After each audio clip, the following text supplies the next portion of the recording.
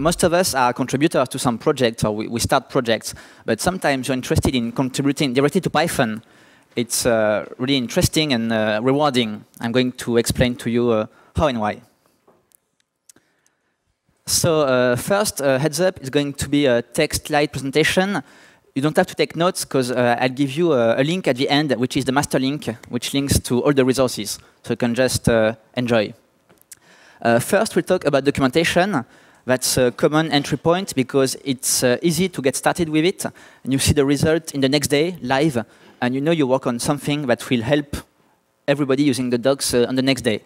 So that's uh, a common entry point. Then we can go to bugs, which is the, the meat of the work we do in Python. Uh, a lot of it is new feature, and a lot of it is bug fixing. So everybody can help fixing bugs. Uh, then uh, more ambitious and complicated is proposing new features in the standard library or in the language itself. And then we'll talk about uh, a few other things. Okay, so introduction. That's a title I stole from a Python uh, developer documentation. It's called Guido, some guys, and a mailing list. So this is the Python creator, Guido van Rossum.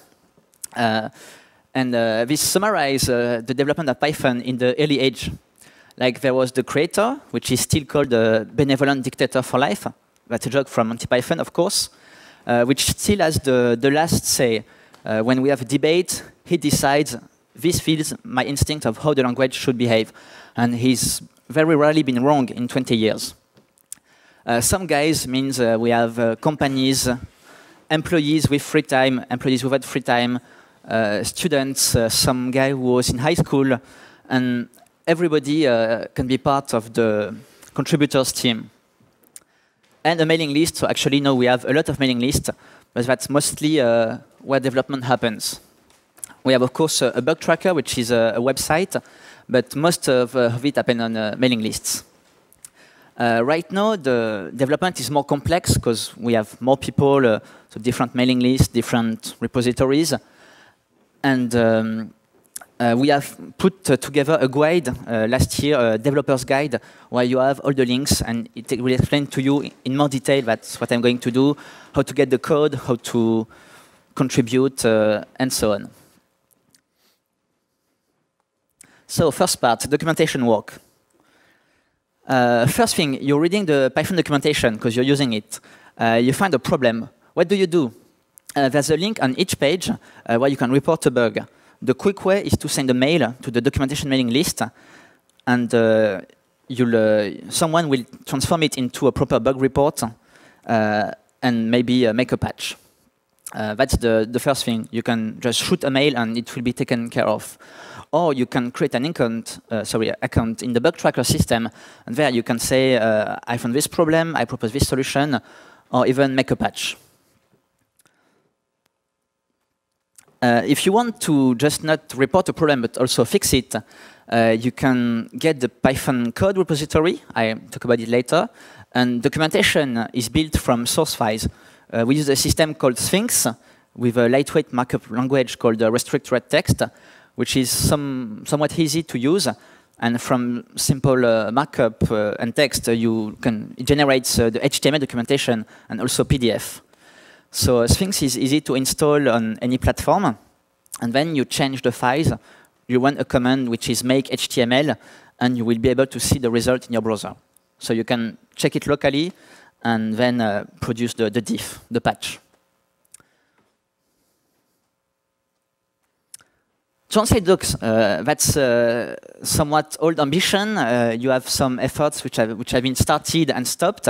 And most recently, the, the French-speaking community, uh, the Association Francophone Python, uh, started a new GitHub repository where it's easy to uh, translate the doc to French and using pull requests. So uh, that's uh, something hot because for many people, even though the language is in English with keywords, um, many in many areas, in when learning, when uh, using it high school, you start with your native language. So it's an ongoing battle, but it's worth it translating the documentation, and it can appeal to different people that people who do bug fixing. So that's really a, a worth use of, of time. Now, fixing bugs. How to find a bug? Uh, a lot of the time, you just find a bug when you use Python. Uh, something unexplained comes into your program, and you found that some function does not behave as it should, or as you would have thought, or uh, differently to what's documented. So uh, you can also do explicit bug searching. You can look at the doc and say, this is unspecified. This is different than some, what some other platform does, or some other language. Or my platform, like Android or what Solaris, uh, has a problem with its C library. So you can also do systematic testing. Uh, it's interesting to use uh, like static analyzers for the C code, or to use a fuzzing tool like Fusil, where you just throw garbage at Python and you see if it crashes or not. And uh, that's how you can find bugs, just naturally or looking for them. Both are useful. Now, how to report it. Contrary to documentation, we don't use a mailing list. It's always the bug tracker. It's a website. It's bugs.python.org. You can log in, log in with OpenID or create an account with an email. And there you can search if the bug exists. And if it exists, is there a patch? If there's a patch, is it reviewed? Is it good? Uh, just apply it on your computer and see if it works. Otherwise, you can create a new bug. And um, the interface is a bit complex. So you have to say, OK, if it's in the library or the core Python interpreter, you can say if it affects version 2.7 or 3.2. And uh, you have a nosy field, which is interested person, like a copy. And uh, if it's in the module, uh, like for example, shlex, you can type S-H-L-E-X, and you will see uh, shlex is maintained by this uh, uh, Python core developer, and you can click on the name, and the person will get an email. Now, how to make a fix? Uh, that's uh, a big part of our job if we are programmers. Uh, a fix for Python has a high level of uh, quality, we have high standards. Uh, we can't just make a fix without a test. We use, uh, we have a comprehensive, not comprehensive, but a very big test suite to make sure we don't have regressions. Because if you fix something and you change the system, you change some code behind the scenes, your bug can come again. So you can also make a patch with a fix without a test, and some a second person can do it. That's also a useful contribution. Um, right. And then uh, in the end, uh, this is all explained in the developer's guide. Uh, you use a Mercurial command, is the, the, version control system, to make a patch, which is then applied. Uh, we don't use a pull request system. Uh, we use Mercurial so that everyone can keep a clone, but in the end, you make a patch, and the patch is applied. How to have fun? Sprints. Uh, like these goats, uh, it's uh, more, more, funny to, uh, uh, to be together and to, to profit from more experienced developers, or just, you know, people are shy. we have a mailing list, which is called Core Mentorship, where uh, all questions are welcome. There is no stupid questions. And we, we help people all the time to compile Python, install the dependencies, use the version control system. Uh, they ask, is this a bug worth reporting or not?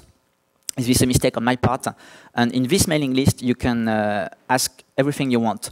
But it's more fun, instead of being at home alone, to have a sprint, which is a gathering of programmers who want to fix bugs. Sometimes a sprint is to work on some features, on some project, but you can also have a, a bug sprint. We're going to have one uh, this Saturday at Caravan, the whole day, and people will join us on IRC from the rest of the world, and we're going to fix as many bugs as possible.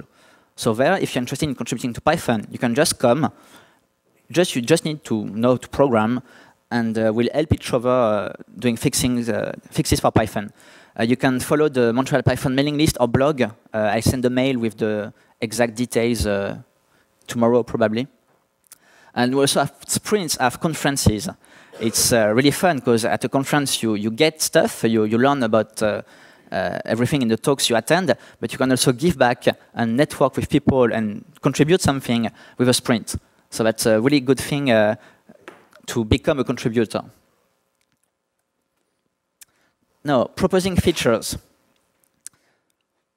Uh, yeah, there's a high barrier to uh, uh, changing the, the, language itself, but a lower barrier for the standard library.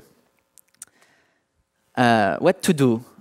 Uh, it's uh, nothing goes without saying, but um, it's yeah, if you say uh, this is useful, if you have use case, if you can compare with other languages, without saying this uh, this language is better, Python sucks. But if you can make constructive proposals with use cases or pointing a source of confusion for people, uh, you can make a useful proposal. Uh, you need to have a bit of time because some features just go to a bug request, which is a, a request for enhancement, and it will be accepted. Like this module misses this small thing, it would help.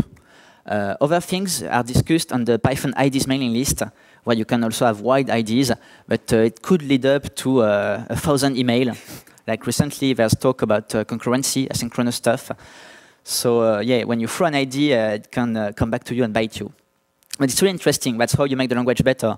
That's how Python 3 was in the end uh, done. At first, it was just ideas like, uh, if we could break compatibility, we could do this better, this would be less confusing, and so on. And in the end, it was done. So we already have a list of uh, 20 items for Python 4, which is going to, to come in 20 years. And uh, yeah, but there are still IDs that are implemented in Python 3.2, Python 3.3, and which are going to come in Python 3.4. And if you have a good IDs, you can propose it. Uh, but please do it in a polite, constructive ways. Because what not to do, uh, we have on the mailing list trolls, we have name calling, we have Python sucks, we have I demand you implement this. And that's just know how it works in a, a free software project with volunteers. So you're going to be frustrated if you're in a, um, vendor uh, client mentality where you demand stuff. You really need to, to think Python is not them, it's us. So you can't be a part of it and be empowered to, to propose changes. But uh, yeah, don't feed the trolls. Uh, other areas, uh, advocacy. Most of us will agree that Python rocks, but uh, in my opinion, thank you in my opinion, it's important to always be constructive. Uh, when we say uh, this and this sucks, even if it's true, Java, uh, we, um, it's more interesting to, to, to, recognize the strengths of other languages and say Python is good in this area. Uh, fanboys, I tend to it, we tend to it, but it can harm the image of the language. And as members of the community, represent the community. And if we are heated, if we are stubborn in discussions, uh, like I am often, uh, it can hurt the, the global image and it doesn't help Python. So if you're um, moderate people and you like to write, for instance, but or you go to conferences or to uh, meetings or local communities, uh, you can help Python without coding, but with advocacy, and that's also useful. Uh, we have a lot of people still to convince in the industry, so the global IT industry, or governments or schools, and if we believe that Python can really help, like learning how to program in high schools, or just uh, you know removing pain um, in a lot of environments, uh, we can use positive arguments uh, to uh, advocate Python and make it grow. Blogging. Uh, you can, of course, blog on your own blog, and you can be syndicated to Planet Python. And it's always useful to have success stories, return of experience, libraries, new projects, uh, use case, success stories, uh, and uh, yeah, on your own blog. You can also contribute to the official Python blog. you have the Python Software Foundation, which is the legal umbrella of Python. And uh, you have the Python Foundation blog, where it's uh, like the awards are announced, or the really big, big projects uh, or grants.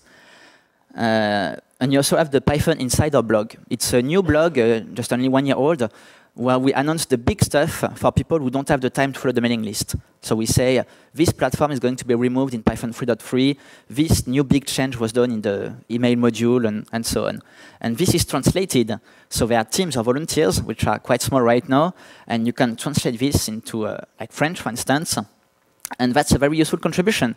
If you don't have the time to program because that's your job, for instance, you can still do something which is really useful. Uh, that's the master links I was talking about.